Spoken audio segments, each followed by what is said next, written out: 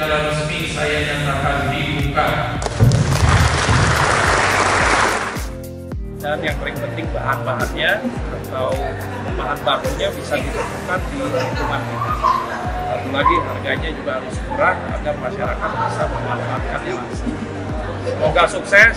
Hasil pemenang lombanya pasti akan kita ikutkan lomba-lomba TTG tingkatan lanjutan dan yang paling penting kualitas produknya nanti bisa digunakan oleh masyarakat.